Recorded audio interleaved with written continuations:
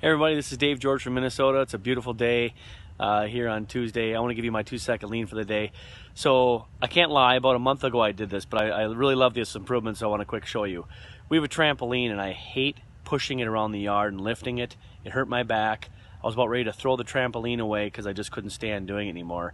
And finally I uh, saw somebody putting up a uh, trailer on a boat and I thought that same principle could be used to this. So what, here's my favorite improvement.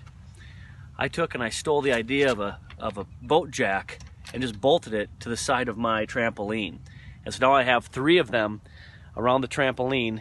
My nine-year-old kid can jack up the trampoline, he can wheel it across the yard, I can mow, he can push it out of the way, and now it doesn't bother me, now I don't want to throw away this trampoline. So that's our that's my favorite improvement in the yard so far this year, and I absolutely love it.